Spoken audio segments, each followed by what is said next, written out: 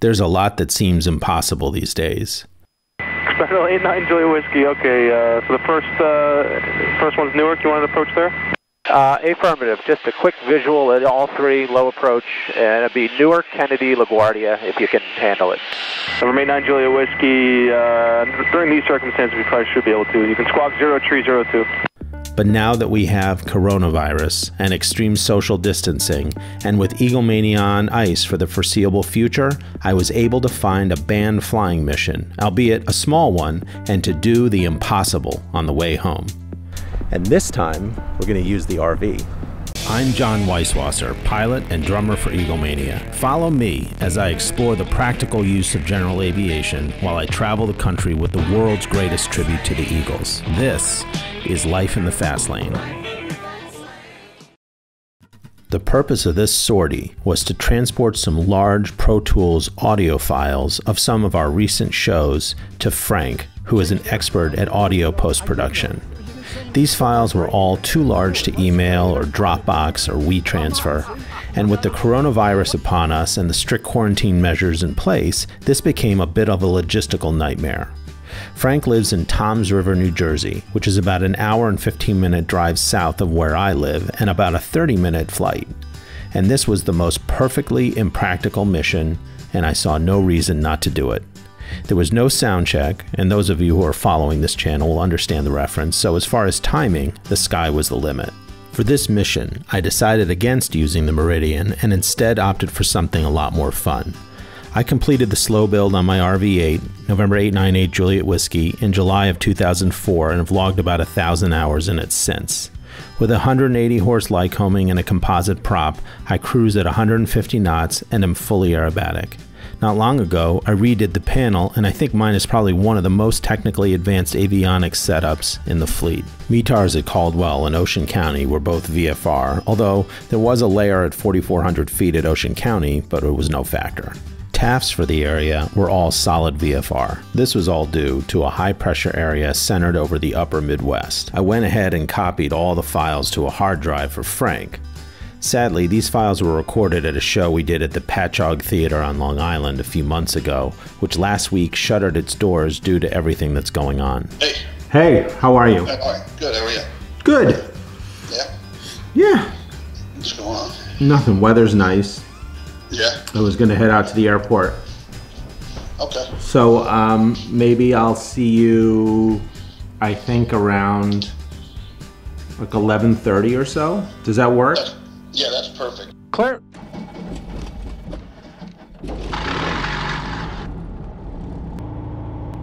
Call tower RV898 Julia Whiskey, short of runway 4 VFR to the uh, west, ready for departure.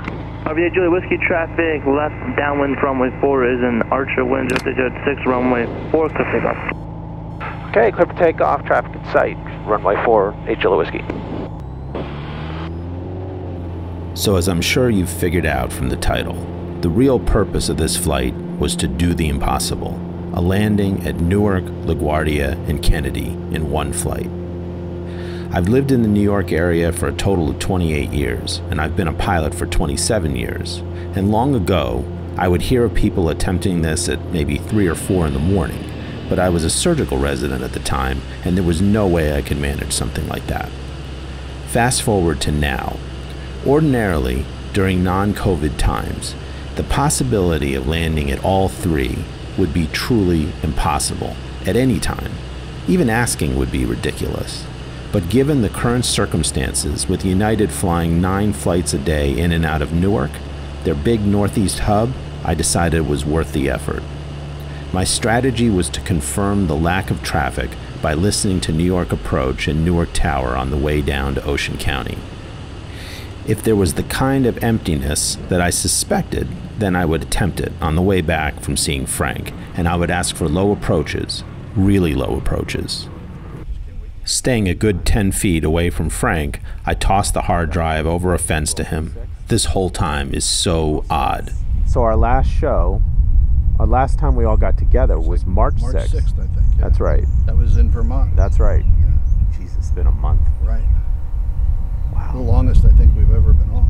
Absolutely. These guys are my brothers, and I really miss much them. I miss performing Yeah. and being with the band. and- Right. And, and how I will never, ever take it for granted again. As if we Not ever that I did. ever did. Right. From there, it was time to attempt the impossible. I took off flying direct to Newark with LaGuardia and JFK programmed in my GPS, as if everything else in the world wasn't surreal enough. As I got closer, I listened carefully to New York approach, and when I was about 25 miles out, I pulled the trigger. New York approach, good afternoon, November 898 Juliet Whiskey. November 898 Juliet Whiskey, New York approach. Yes, uh, good afternoon. November 898 Juliet Whiskey is an experimental RV-8. We're currently 24 miles south of Newark at 2,000 feet. Request a low approach at Newark, Kennedy, and LaGuardia, and then a return to Caldwell if possible.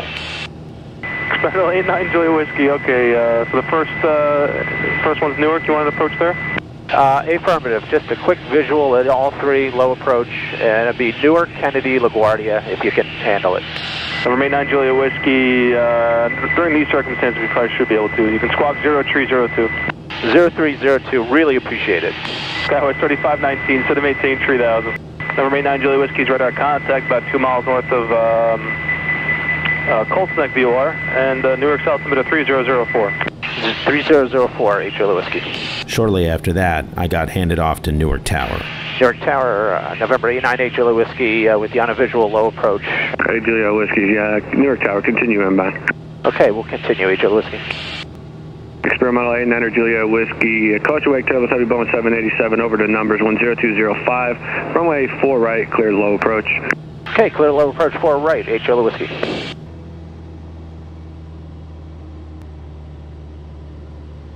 Four left line weight, Delta 572.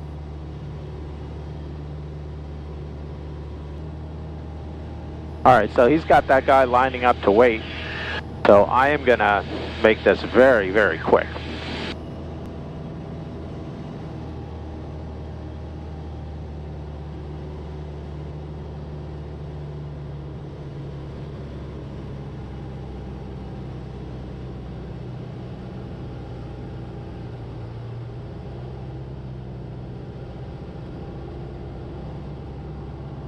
Having lived and flown in and around New York for as long as I have helped a lot here because I really know the airspace, in particular the Hudson Corridor. And uh, Juliet Whiskey's on the go. Julia Whiskey, Roger, maintain V, far to below 1,500, when able, turn right direct to statue. Okay, direct to statue 1500, H. Juliet Ordinarily, and on a day like this one where the weather was pretty much perfect, the airspace would be teeming with activity, and passing through this airspace is an especially intense exercise in spotting traffic. Helicopters in and out of the three major heliports, other fixed wing traffic following the Hudson Corridor VFR rules, and traffic overhead to LaGuardia. In other words, this area is usually an aircraft zoo. 9 Julia Whiskey, disregard. You can uh, proceed up the East River now 1,500. Contact LaGuardia 118.7. Let them know what you want to do. Okay, 118.7 up the river. Thank you, H. Juliet Whiskey. Have a good one. You too. LaGuardia Tower, uh, November 898 Juliet Whiskey. 898 Juliet Whiskey, where to our, uh, pay attention. Yep, H. Juliet Whiskey's over the East River at uh, 1,500. Was wondering if we could get a low approach at uh, LaGuardia, followed by a low approach at Kennedy, and then a return to uh, Caldwell, New Jersey. You have LaGuardia in sight? Uh, affirmative for H. Juliet Whiskey. All right, you can make the straight in to runway 4. Straight in for 4. Straight in for four, H. Juliet Whiskey. Thank you, American 9672 to wind is calm, runway 4, cliff takeoff. Runway four, clear for takeoff, American 9672. May Juliet Whiskey, just verify your experimental. Uh, affirmative, uh, experimental RV8 for H. Juliet Whiskey. Right in. May Juliet Whiskey, caution wake turbine 737, that's part of runway 4. And, uh, runway 4, cleared low approach. Okay, traffic in sight, cleared low approach four, H. Juliet Whiskey. I've flown the VFR Hudson Corridor a lot, and it was really eerie to be the only one in the air over Manhattan. No helicopters, no other fixed wing traffic, no overhead commercial traffic into LaGuardia. And Tower, can I make this a really low approach? As low as you would like to go, cleared low approach to only 4, May Juliet Whiskey. Thank you, H. Whiskey.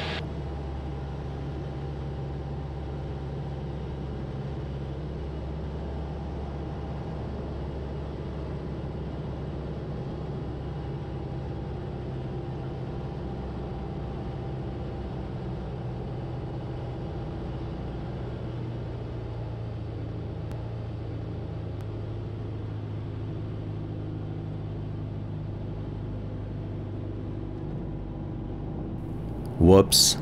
I guess that's as low as I can go.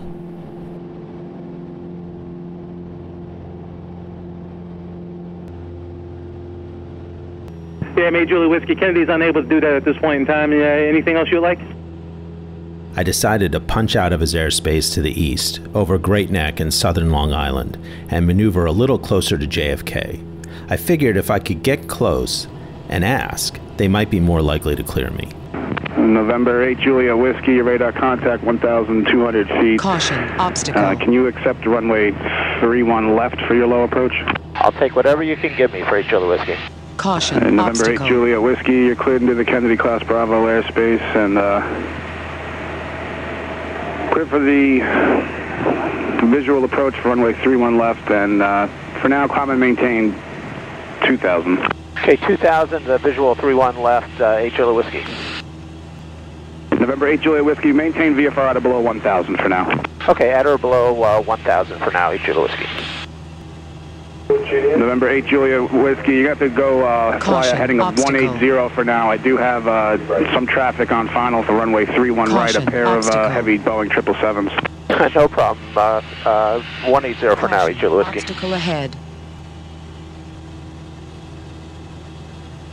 Uh, November 8 Juliet Whiskey, uh, continue obstacle heading on a 180, heading until you uh, pick up the shoreline. Then you can uh, turn westbound and uh, join the final for runway 31 left. Uh, at the shoreline, maintain obstacle VFR ahead. out of below one, or correction, out of below 500. Okay, uh, shoreline at or below 500, and then uh, once there, we'll uh, pick up the uh, final inbound to the visual 31 left, 8 Julia Whiskey. Southern Air 7640 heavy, you have traffic at your uh, 2 o'clock, 3 miles, an experimental aircraft uh, descending to 500 feet. He's going to be joining the shoreline underneath you. Very good, we'll watch that point, and we're slowing down now for break speed. November 8 Juliet Whiskey, one traffic 1 mile to your south, heavy Boeing 777 descending at a 2,700 feet, caution wake turbulence. Insight, thank you, 8 Julia Whiskey.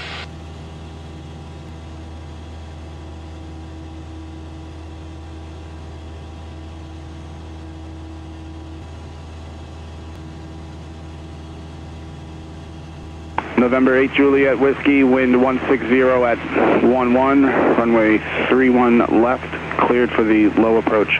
Okay, cleared low approach 31 left, thank you, 8 Julia Whiskey.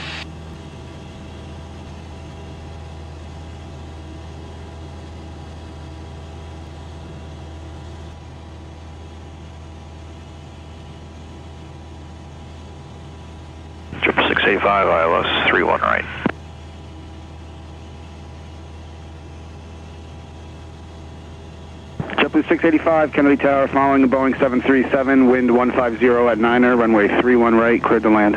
Cleared to land, 31 right, 6685.